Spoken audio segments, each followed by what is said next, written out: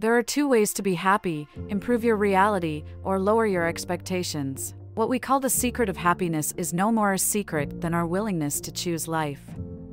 Be happy in the moment, that's enough. Each moment is all we need, not more.